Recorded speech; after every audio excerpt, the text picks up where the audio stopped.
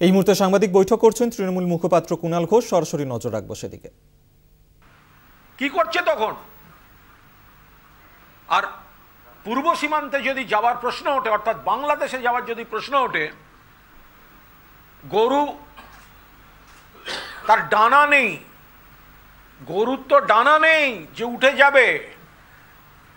যদি পাচারের অভিযোগ আসে, পাচার রোখার দায়িত্ব কার? বিএসএফ এর কেন তৃণমূলকে আক্রমণ করা হচ্ছে?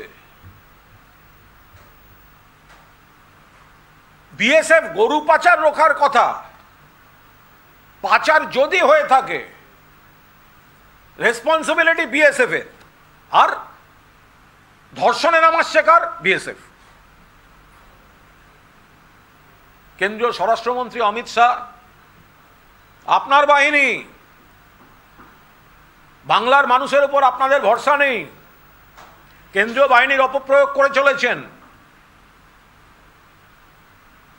আর এই ভয়ঙ্কর যে ধর্ষণের ঘটনা, কাল আমাদের ওখানে কর্মসূচি আছে, সর্বভারতীয় তৃণমূল কংগ্রেস, বাগদায়। এই গণধর্ষণের বিরুদ্ধে আমাদের প্রতিনিধি দল শীর্ষ নেতৃত্ব পাঠাচ্ছেন তাদের, এবং সেখানে রাজনৈতিক কর্মসূচি কাল বিকেল তিনটের পর হবে। কিন্তু কেন্দ্রীয় স্বরাষ্ট্রমন্ত্রী ক্ষমা চান দুঃখ প্রকাশ করুন, আপনার বাহিনী। আপনারা মহিলাদের সম্মান দেন না, একের পর এক ঘটনা আমরা দেখাতে পারি। সর্বশেষ গুজরাট। গণধর্ষণ, গণহত্যা, অভিযুক্ত, দোষী, সাজাপ্রাপ্ত সর্বস্তরের কোর্টে ছেড়ে দিলেন। যেদিনকে লালকেল্লা থেকে নরেন্দ্র মোদী বলছেন মহিলাদের সুরক্ষা, সেদিন গণধর্ষণ এবং গণহত্যায় যারা সাজাপ্রাপ্ত, তাদের এগারো জনকে ছেড়ে দেওয়া হচ্ছে। আর আপনাদের বিএসএফ এখানে ধর্ষণ করছে।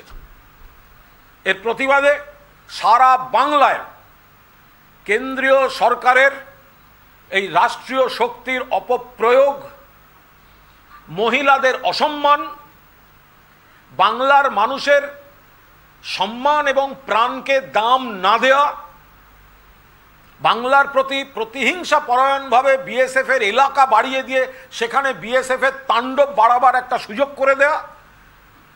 এই সবের বিরুদ্ধে সর্বভারতীয় তৃণমূল কংগ্রেস প্রতিবাদ জানাচ্ছে এবং ধারাবাহিক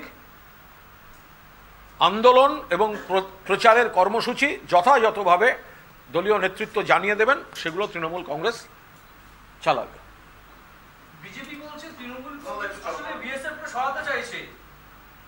যে ভাষা বিএসএফ কে আক্রমণ করা হচ্ছে অত্যন্ত নিন্দনীয়। বিজেপির কোন অংশ বলছে? হ্যাঁ বলে দেবেন। আদি বিজেপি না দলবদলু বিজেপি? সেই অনুযায়ী উত্তর হবে না? তো সকল মানে আদি আদি বিজেপি। তো ফলে এখন হচ্ছে কেন মানে বিএসএফকে আমরা কেন সরাতে চাইব? বিএসএফ তো একটা চিরদিন চলে আসা একটা বাহিনী, যার কাজ বর্ডার সিকিউরিটি ফোর্স সেটা হয়ে গেছে BJP security force border security ফোর্সকে তো আমরা সম্মান করি, কিন্তু বিজেপি সিকিউরিটি ফোর্সকে কি করে আমরা সম্মান করব? বিএসএফ এ যারা আছে, তারা তো আমাদের ঘরের ছেলে। আমরা কেন তাদের অসম্মান করব? তারা ঘর, বাড়ি ছেড়ে সীমান্তে লড়াই করছে, সীমান্ত পাহারা দিচ্ছে, এটাই তো তাদের কাজ। কিন্তু বিএসএফ এর সেরাদের তুলে এনে বর্ডার সিকিউরিটি ফোর্সের বদলে বিজেপি সিকিউরিটি ফোর্স তৈরি করছে বিজেপি এটা তো